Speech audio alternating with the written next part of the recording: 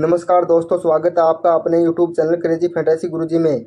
आज हम इस वीडियो में बात करने वाले हैं आईपीएल के साठवें मुकाबले के बारे में। मुकाबला राजस्थान रॉयल्स और आरसीबी के बीच में होने वाला है। अगर आप भी मेगा ग्रैंड लीग टीम बनाकर अच्छी खासी विनिंग करना चाहते हो तो वीडियो को शुरू से लेकर एंड तक ज़रूर देखना। इस वाली वीडियो में मैं आपको बताना चाहता हूँ, इन सारे खिलाड़ियों में से हमारे लिए कौन सा खिलाड़ी बेस्ट रहने वाला है और कौन सा खिलाड़ी फ्लॉप जाने वाला है। हमारी मेगा ग्रैंड लीग टीम के लिए कैप्टन और वाइस कैप्टन कौन से खिलाड़ी होने वाले हैं? और साथ ही साथ पिच रिपोर्ट की भी सभी जानकारी एक ही वीडियो के अंदर आपको देखने को मिल जाती है। अगर आपने अभी तक वीडियो को लाइक नहीं किया तो वीडियो को लाइक करके चैनल को सब्सक्राइब करना ना भूलें। तो आइए करते हैं वीडियो को स्टार्ट। सबसे पहले विकेट कीपर वाले सेक्शन की बात की जाए तो विकेट कीपर वाले सेक्शन में आपको ऊपर ऊपर आपको जोश बटल देखने को मिल जाएँगे। इसके बाद संजू सैमसन देखने को मिल जाएँगे। इसके बाद दिनेश कार्तिक देखने को मिल जाएँगे। इसके बाद एलन देखने को मिल जाएँगे। इसके बाद अंजू रावत देखने को मिल जा, जाते हैं। इसके बाद नीचे ही नीचे आपको कुणाल सिंह राठौड़ देखने को मिल जाते हैं। ये सारे खिलाड़ी आपको विकेट कीपर वाले सेक्शन में देखने को मिल जाते हैं। अब इनमें से हमारी ग्रैंड लीग टीम के लिए कौन से खिलाड़ी अच्छा परफॉर्म करके जाएँगे और कौन से खिलाड़ी फ्लॉप रहने वाले हैं? ऊपरी ऊपरी ऊपर आपको जोश पटल की बात की जाए तो जोश पटल पिछले मुकाबले में फ्लॉप ही गए थे। बाकी आपको पता ही है प्लेयर काफ़ी ज़बरदस्त है। तो इनको आप अपनी मेगा लीग टीम में ज़रूर से लेकर चलिएगा। इसके बाद संजू सैमसन की बात की जाए तो यह भी काफ़ी ज़बरदस्त खिलाड़ी है। बाकी आपको पता ही है, यहाँ पर टॉप ऑर्डर में जॉस बटलर आने वाले हैं। यदि जॉस बटलर पचास साठ रन बनाकर आउट हो जाते हैं तो सारी जिम्मेवारी संजू सैमसन के कंधों पर आ जाती है। तो इसीलिए संजू सैमसन का भी परफॉर्म इस मैच के अंदर काफ़ी अच्छा देखने को मिलने वाला है। तो इसे भी आप अपनी मेगा ग्रैंड लीग टीम में ज़रूर से लेकर चल सकते हैं। इसके बाद बात करें दिनेश कार्तिक की तो इनका परफॉर्मेंस लो ही रहने वाला है तो इन्हें आप ड्रॉप आउट करके चल सकते हो। इसके बाद एलन की बात करें तो इसे अपनी टीम में ज़रूर से लेकर चलना।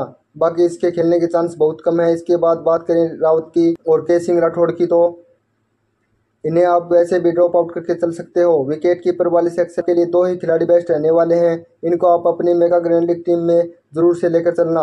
अब मैं आपको बता देता हूँ बैटिंग वाले सेक्शन में आपके लिए कौन से खिलाड़ी इंपॉर्टेंट रहने वाले हैं, कौन से खिलाड़ी ड्रॉप आउट करके चलने वाला हूँ? ऊपर ही ऊपर आपको विराट कोहली देखने को मिल जाएँगे। ये पिछले मैच में जल्दी ही आउट हो गए थे। बाकी इस वाले मैच के अंदर इनका पर भी परफॉर्मेंस काफ़ी अच्छा देखने को मिल जाए मिलेगा आरसीबी की तरफ़ से। तो इनको भी आप अपनी मेगा ग्रैंड लीग टीम में ज़रूर से लेकर चलिए। इस, इसके बाद फाफडू प्लेसेस देखने को मिल जाते हैं। कॉमन प्लेयर हैं। इनका भी परफॉर्मेंस काफ़ी अच्छा रहने वाला है।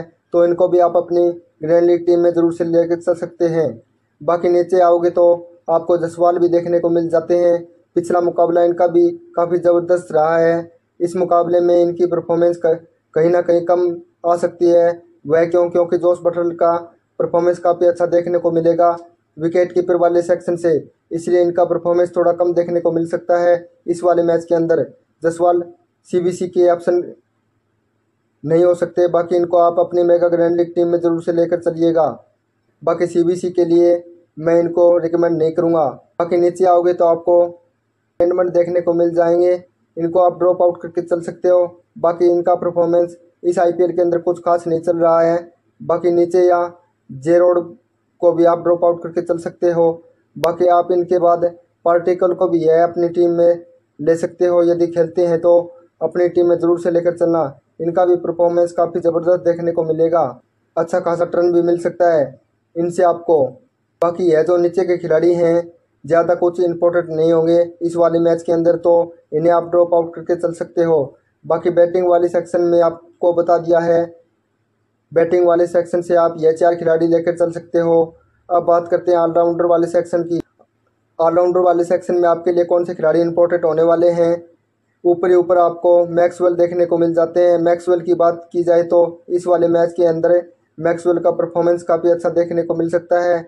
वह क्यों? क्योंकि आपको पता ही है, इस वाले पिच पर स्पिनर को ज़्यादा हेल्प मिलती है और मैक्सवेल भी यहाँ पर स्पिनर है और इसके आपको काफ़ी टर्न भी मिल सकता है। हम अपनी ग्रैंड लीग टीम में मैक्सवेल को ज़रूर से लेकर चलेंगे। बाकी इसके बाद असरंगा। असरंगा को तो अच्छा खासा टर्न मिलने ही वाला है। तो आप असरंगा को अपनी ग्रैंड लीग टीम में ज़रूर से लेकर चलना। बाकी मैं यहाँ पर अश्विनी को भी अपनी ग्रैंड लीग टीम में लेकर चलने वाला हूँ। बाकी मैं यहाँ इन तीनों स्पिनरों को लेने वाला हूँ। बाकी नीचे के खिलाड़ी इतने इंपॉर्टेंट नहीं होने वाले, इनको आप छोड़ भी सकते हो। इस वाले मैच में रन भी काफ़ी देखने को मिलेंगे और विकेट भी काफ़ी देखने को मिलेंगे।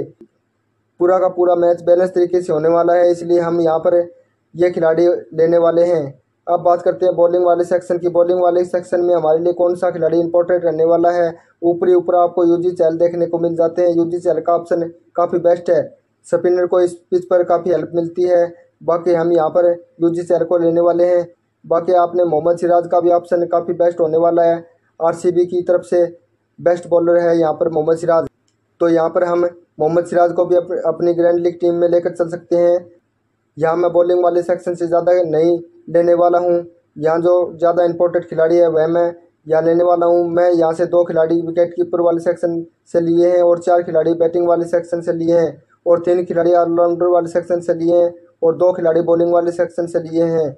यह सभी प्लेयर हमने बेस्ट परफॉर्म के खिलाड़ी लिए हैं। इसी तरह आप भी अपनी मेगा ग्रैंड लीग टीम बना सकते हैं। और यहाँ पर आपको बता देता हूँ सीबीसी का ऑप्शन हमारे लिए कौन सा खिलाड़ी होने वाला है? विकेट कीपर से आपने विकेट कीपर से जोस बटलर को कैप्टन रख सकते हो और बैटिंग सेक्शन से विराट कोहली को सीबीसी में रख सकते हो। अगर आप दो चार टीम बना रहे हो तो इस तरह से कैप्टन, वाइस कैप्टन रख सकते हो। नमस्कार दोस्तों, धन्यवाद। जय